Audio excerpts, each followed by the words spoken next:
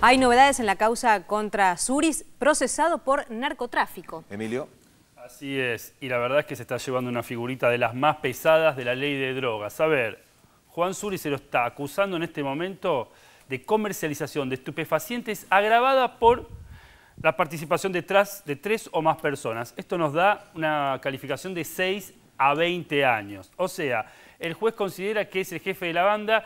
Obviamente me decían ayer en el juzgado, no lo vamos a encontrar con cocaína. Las personas que manejan bandas de cocaína no tienen la cocaína encima. Claro, también se procesó a Carlos el Chino Alberti, que al parecer sería uno de sus laderos que sí tenía cocaína, estaba cumpliendo condena por 17 kilos de cocaína y le habían encontrado en septiembre del año pasado un kilo, casi un kilo. tenemos otro más, Roberto eh, Miranda, Romero, perdón, Miranda, con un kilo y medio. Estos serían los laderos, esta sería la prueba más importante. Obviamente, en las escuchas lo que se ve es la coordinación.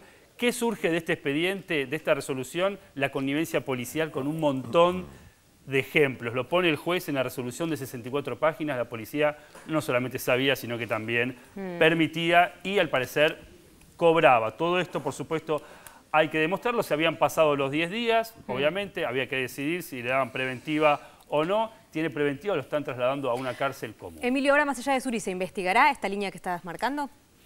Yo creo que sí. A ver, esto lo tiene que hacer el fiscal general de Bahía Blanca.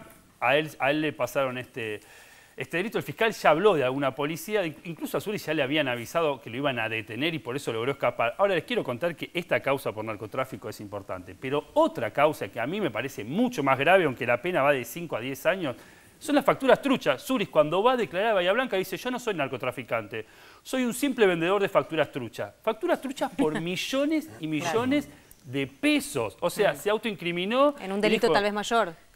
Obviamente que el delito es mucho más grave por el, daño que debe estar causando, porque esa plata son plata de impuestos, es plata que va para hospitales, para escuelas, etcétera. En ese sentido me confirman algo que se venía diciendo, y es que parte de estas facturas truchas iban a entes públicos de distintos órdenes. Nadie está diciendo si son de la ciudad de Bahía Blanca, provincia o nación, pero existe. Y también, obviamente, de empresas privadas. Emilio, gracias.